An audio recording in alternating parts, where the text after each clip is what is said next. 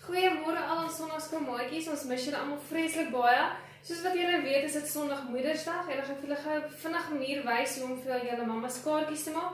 Ek weet julle is baie lief vir haar en julle wil hê sy moet jou help, maar vra eerder jou pappa. OK. So wat julle gaan nodig hê is gekleurde papier. Maar as jy nie gekleurde papier het nie, vat jy sommer gewone wit papier en jy kleur dit net in. 'n Toiletrolletjie. So soortie stokkies, maar as jy nie so soortie stokkies het nie, kan jy sommer enige stokkies in tuin gaan pluk. Jy het lint nodig, 'n skerp, 'n potlood, 'n liniaal, gom en dan hier is my inkleurpotlode. Okay, so ons gaan begin deur die toiletrolletjie te meet. En as jy hom klaar gemeet het of jy kan hom sommer net so op die papier neersit, dan trek jy 'n lyn met die liniaal en die potlood om hom nou te meet. So ek gaan nou so maak. Trek ons 'n lyn om te wys hoe groot moet hy wees. OK, dan vat jy jou skerp. Vir die maatjies wat bietjie kleiner is, julle kan julle pappas vra om julle te help of julle boeties of sissies om te help om dit te sny. So hier is my lyn wat ek getrek het wat nou hy gaan nou so mooi daaraan pas.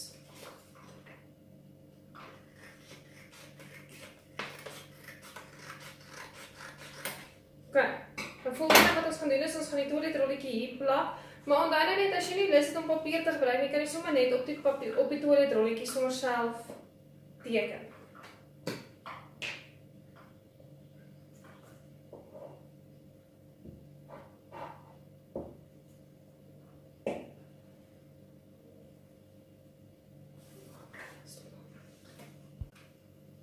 Soos julle nou kan sien, het ek hom klaar geplak en ek het sommer wasgoedpinnetjies gebruik om die gom daar's om die papier daar te hou dat hy kan droog word.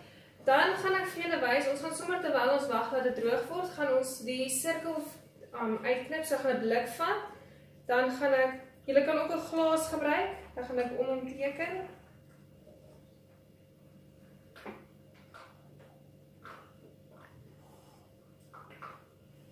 OK. En dan gaan ek vir julle hierso, dis hoe dit dan gaan lyk. Dan gaan ons ook op die ander gekleurde papiere prentjies teken. So wat dan hoe dit dan gaan lyk as ons dit klaar geteken het, gaan ons gaan teken en gaan ons dit uitknip. So jy kan enige blommetjies of hartjies of enigiets uitknip en dan terwyl jy wag vir die gom om terug te word. Okay, soos julle gesê het, het ons goedjies nou droog geword. Ons het al ons vormpies uitgeknip. Ons het blommetjies, naartjies en dan sommer so klein sirkeltjie wat ons in die middel van ons blommetjie gaan plak.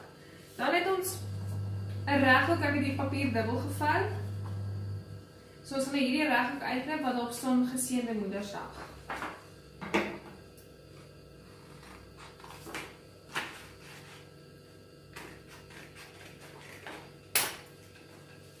OK, so. Nou het julle julle papiertjie, julle kaartjie. Dan het ons nou so wat ek gedoen het, ek het al my stokkies verskillende lengtes gaan sny, soos julle kan sien, hulle is almal verskillende lengtes. Maar julle kan ook almal ewe lank hou as julle wil. OK, dan gaan ons hulle begin plak. Nou ons gaan eers hierdie enetjie hier op plak. So jy gaan gom smeer.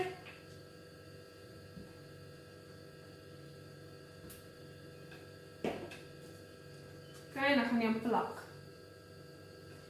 Dan gaan ons ons stokkies op ons papiertjies plak.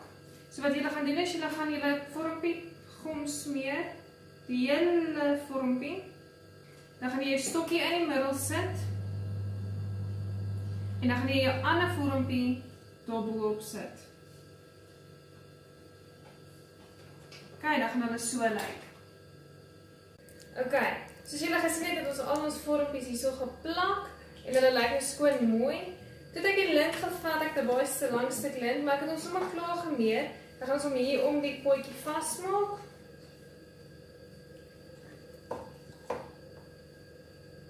As jy sukkel om die strikkie te maak, dan vra my net julle pappas om julle te help.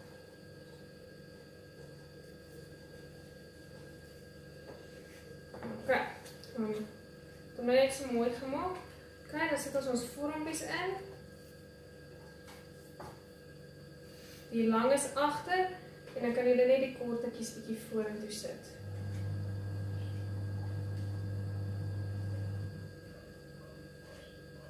Asai. Dan het julle 'n driedimensionele kaartjie vir julle mammas.